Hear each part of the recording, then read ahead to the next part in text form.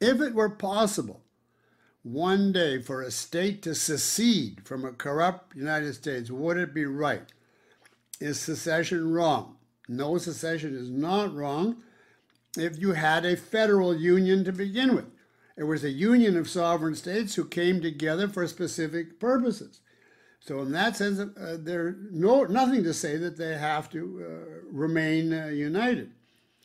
But it would be morally justified only if they're breaking away from a statist country in order to establish a free country, and only if it's practical. Uh, if they're going to be militarily mowed down, uh, it's ridiculous.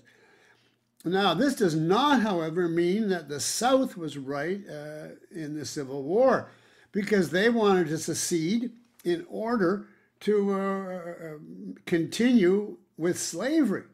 Uh, and no nation has a, a right to self determination uh, if that involves uh, slavery or the violation of um, individual rights.